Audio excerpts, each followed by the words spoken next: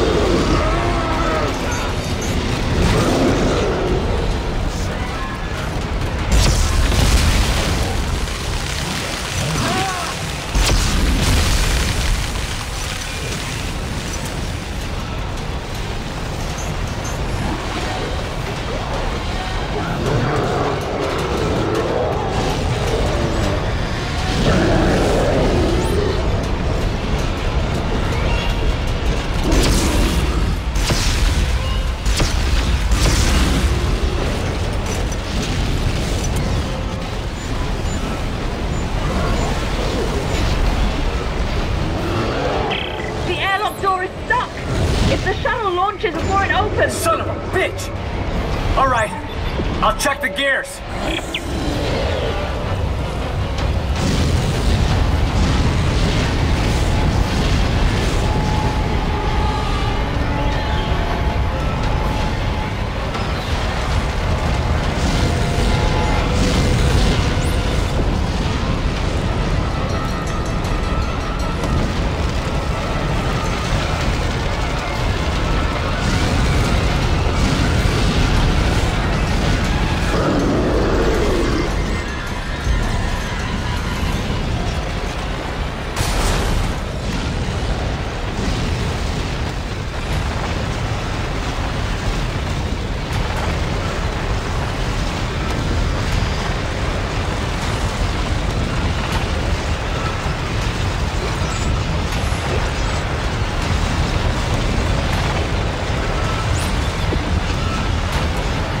Flight systems nominal.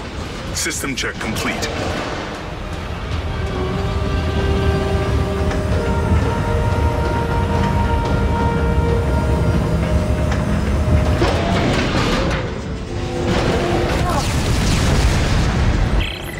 There's something wedged in the gears!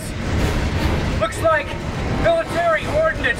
I'm gonna try to clear it! Explosive. Oh, God, be careful, Isaac.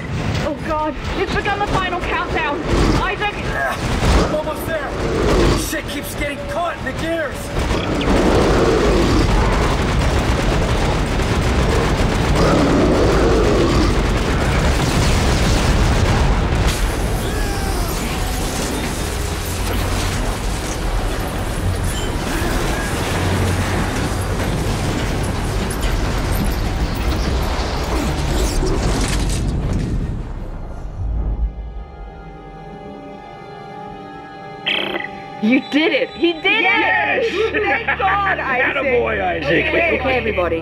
Let's get the docking bay ready to receive the shuttle. Isaac, we'll see you when you get back.